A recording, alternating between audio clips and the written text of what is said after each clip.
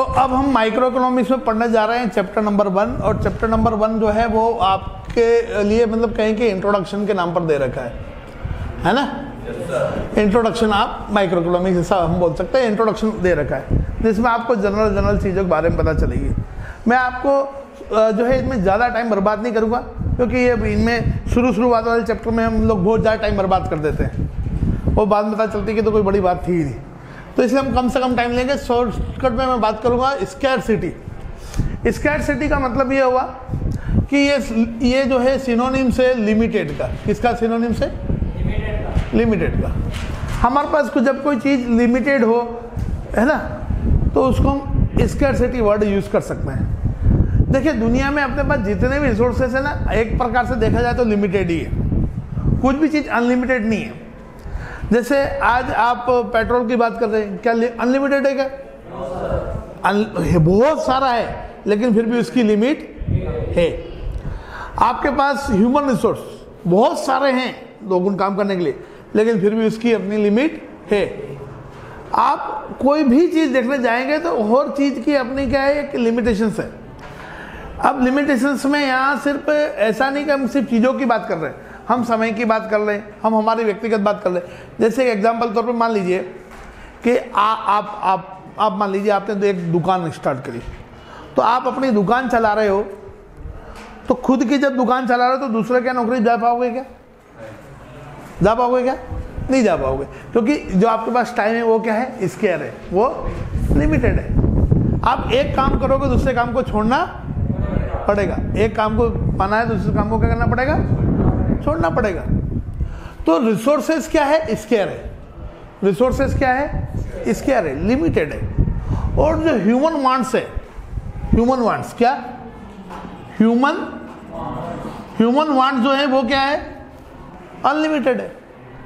इंसान की जो इच्छा है, वो उसकी कोई कमी नहीं है। है ना? साइकिल आ गई तो कार आ जाए। नहीं मोटरसाइकिल आ जाए। मोटरसाइकिल आ गई तो बोले कार आ जाए। कार आ गई तो बोले घर आ जाए, छोटा घर। मतलब बड़ा घर होना चाहिए। फिर बोले, बंगला होना चाहिए। बंगला हो गया तो बोले कि बड़ी कोठी होना चाहिए। कोठी हो गई तो बोले इससे बड़ा स्विमिंग पूल भी होना चाहिए। इंसान की इच्छाएँ लिमिटेड है क्या? नहीं। इंसान की इच्छाएँ जो है क्या है? अनलिमिटेड है। लेकिन वो अनलिमिटेड चीज़ पा तो नहीं सकता है। चलो मैं पाने की बात छोड़ा अपन थोड़ा सा बिज़नेस माइंड से बात करते हैं। बिज़नेस माइंड से हम ये बात करें कि कोई व्यक्ति है, वो चाहता है कि मैं मैं जो है ये पर्टिकुलर बिज़नेस करूँ। तो बिज़नेस करेगा तो दूसरी चीज़ उसको क्या करना पड़ेगी? छोड़नी पड़ेगी। कोई तीसरा ऑप्शन भी होगा, वो उसको छोड़ना पड़ेगा। किसी एक को पाने के लिए दूसरी चीज़ को तो खोना पड़ेगा ही पड़ेगा। मैं आज आपके सामने यहाँ पढ़ा रहा हूँ।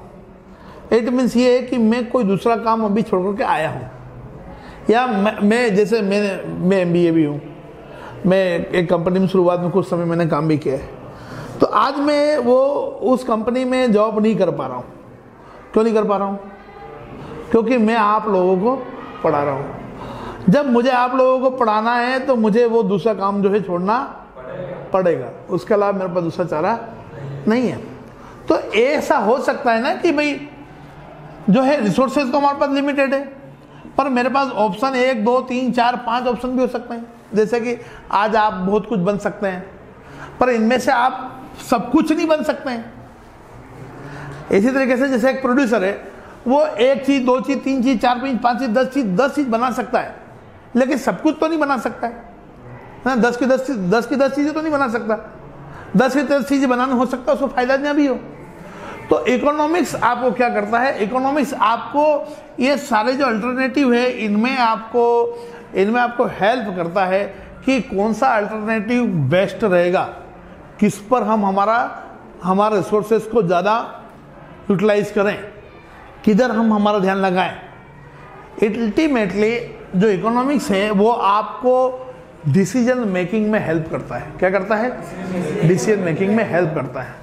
क्यों? क्योंकि एक प्रॉब्लम है स्केर्सिटी और हमारी वांट्स है अनलिमिटेड और हमारे पास बहुत सारे ऑप्शंस होते हैं और बहुत सारे ऑप्शंस में से हमें कुछ ऑप्शंस को चूज़ करना पड़ेगा ही सही.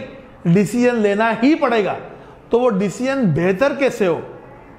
वो सब वो ही पढ़ाना किसका काम है? वही वही आपको इकोनॉमिक्स में पढ़ाया जाएगा. ठीक? मैं आपको एक छोटा शॉर्टकट में आपको बता रहा हूँ, थोड़ी सी डेफिनेशन लिखा रहा हूँ। लेकिन मैं आपको बता दूँ, देखिए इकोनॉमिक्स सबसे पहले एक होती है वेल्थ ओरिएंटेड डेफिनेशन क्या होती है? वेल्थ ओरिएंटेड डेफिनेशन ठीक? जिसको एडम स्मिथ ने दिया था, ठीक? उन्होंने किताब भी लिखी थी। और उन्होंने जो है वेल्थ से ओरिएंटेड जो है इकोनॉमिक्स को बताया है, ठीक? तो मैं इसमें ज़्यादा आगे नहीं बढ़ूँगा, आगे बढ़ता हूँ। फिर जो है अल्फ्रेड मार्शल आए। कौन आए? Alfred Marshall. उन्होंने बोला कि वेल्थ से बात नहीं है। वेल्थ के अलावा वेलफेयर से रिलेटेड है इकोनॉमिक्स तो वेलफेयर ओरिएंटेड डेफिनेशन दी उन्होंने। उसके बाद फिर थर्ड में आए रॉबिन्सन कौन आए? रॉबिन्सन उन्होंने बोला कि वेल्थ भी जनरेट करना ठीक है वेलफेयर भी होता है, ठीक है। लेकिन इन्होंने बोला कि भाई अल्टीमेटली हमें करना क्या है? अल्टीमेटली हमें सही डिसीज़न लेना है। अल्टीमेटली हमें क्या करना है? सही डिसीज़न लेना है। और सही डिसीज़न लेंगे तभी तो हम प्रॉपर तरीके से प्रोडक्शन वगैरह कर पाएँगे। तो इन्होंने बोला कि जो है इकोनॉमिक्स जो है वो it is not about only wealth generation of wealth और it is not only about welfare it is about making good decisions और it is about making decision in the presence of scarcity ठीक? तो इन्होंने फिर या इन्होंने जो definition दी उसके कंक्लूजन पर मैं आपको एक डेफिनेशन बता रहा हूँ। वैसे इसके बाद में और भी आए हैं सेम्यूलसन है ना, इस तरीके से हम लोगों को चार टाइप की डेफिनेशन बनती है। पर हम ये चारों को भी स्टडी करने के बजाय मैं आपको कंक्लूडिंग डेफिनेशन लिखवा रहा हूँ। वो लिखिए आप, वो कंक्लूडिंग डेफिनेशन क्या है? वो कंक्लूडिंग डेफिनेशन है ये कि economics is all about economics is all about making choices in in presence of scarcity economics is all about making choices in presence of scarcity. देखिए वेल्थ के बारे में पढ़ेंगे वेल्थ की डेफिनेशन आएगी। Economics is all about wealth is all about generation of wealth ऐसा आप बोल सकते हैं। है ना? Economics is is about the welfare of the public इस टाइप से आगे चीज़ें। पर लेकिन अल्टीमेटली मैं जो आपको डेफिनेशन लिखवा रहा हूँ कंक्लूजन है। कि आपको करना क्या है, आपको सही डिसीज़न लेना है। और सही डिसीज़न क्या लेना है? मैंने क्या बोला अभी? कि economics is all about making choices in presence of scarcity ये डेफिनेशन हो गई। क्योंकि आपके पास हमेशा, आप देखिए हर वक्त आप कोई भी डिसीज़न लेने जा रहे हैं, आपके पास कोई ना कोई अल्टरनेटिव ज़रूर होंगे। ये कर सकते हैं, ये कर सकते हैं, ये कर सकते हैं। आप बिज़नेस करने जा रहे हैं, कपड़ा का बिज़नेस कर लें, है ना? कपड़े धोने का बिज़नेस कर लें प्रेस करने का बिज़नेस कर लें, है ना? खाली कपड़े में ही जाना है तो। फिर कपड़ों को कलर करने का बिज़नेस कर लें, कपड़े सिलने का बिज़नेस कर लें, है ना? धागे से कपड़े बनाने का बिज़नेस कर लें, धागा बनाने का बिज़नेस कर लें। खाली कपड़े पे आ रहे तो इतने ऑप्शन है। पर इनमें से क्या करना हमारे लिए बेटर रहेगा?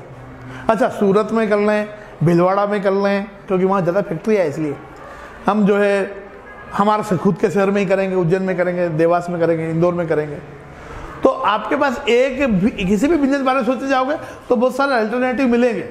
पर उन अल्टरनेटिव में से बेस्ट क्या है, वही आपको सिलेक्ट करना है। ठीक?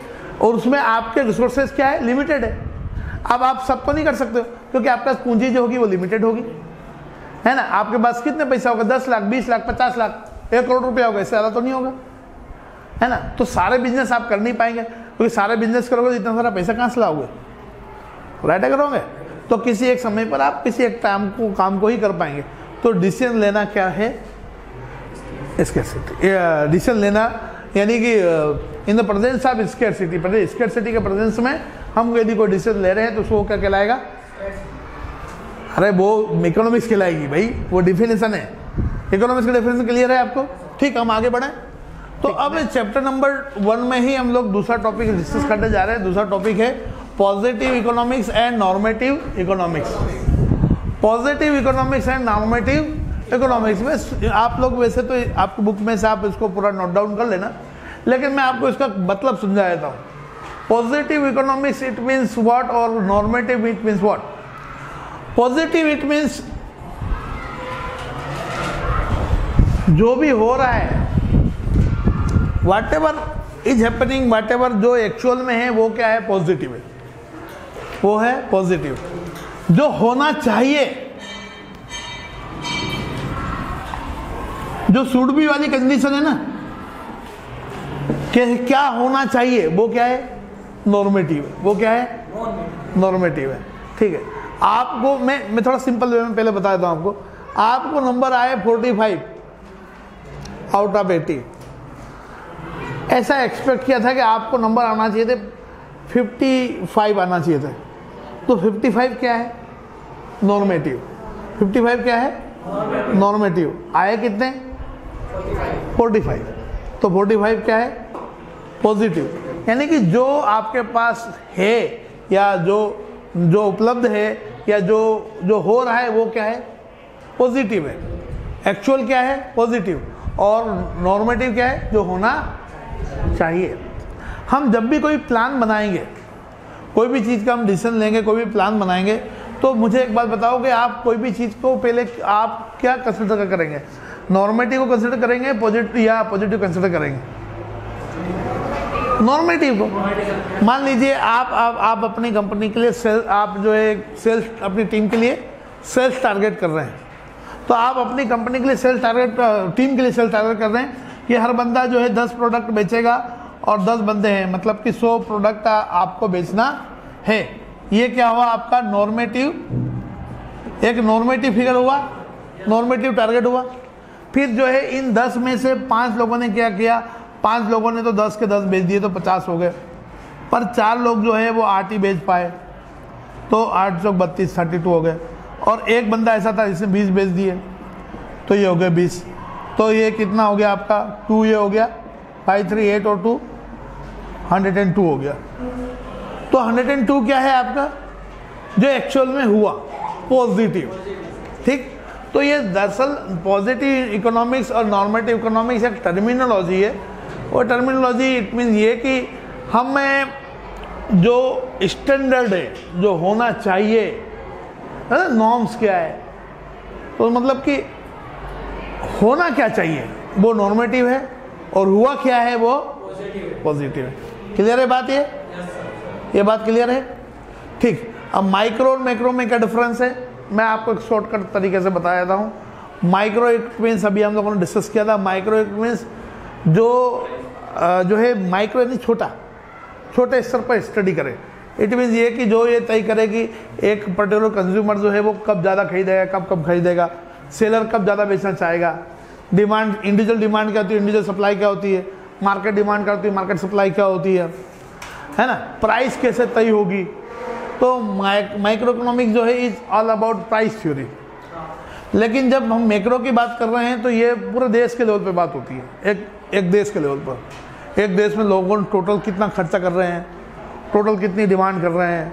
तो यहाँ हम उसको बोलते हैं एग्रीगेट डिमांड एग्रीगेट सप्लाई है ना? तो ये वैसे इसको इनकम थ्योरी बोल सकते हैं।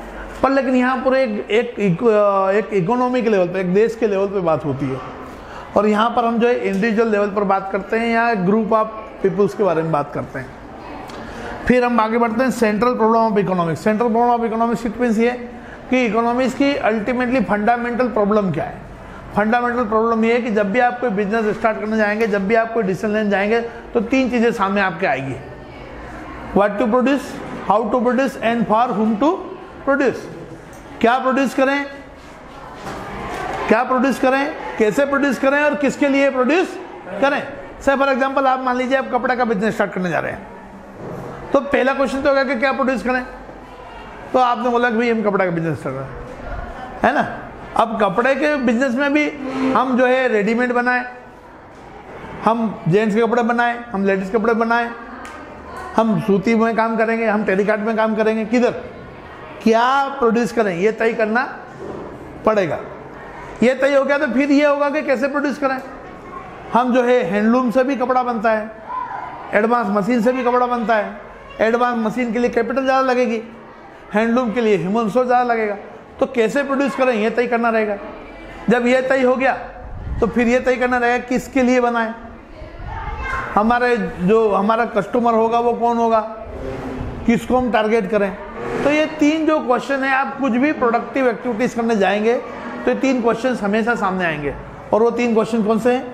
What to produce how to produce and for whom to produce opportunity cost opportunity cost it means ये कि आप जब कोई भी एक काम करने जा रहे हैं, दूसरे काम को छोड़ना पड़ता है। जो काम आपने छोड़ा है, वो आपकी अपॉर्चुनिटी कॉस्ट है।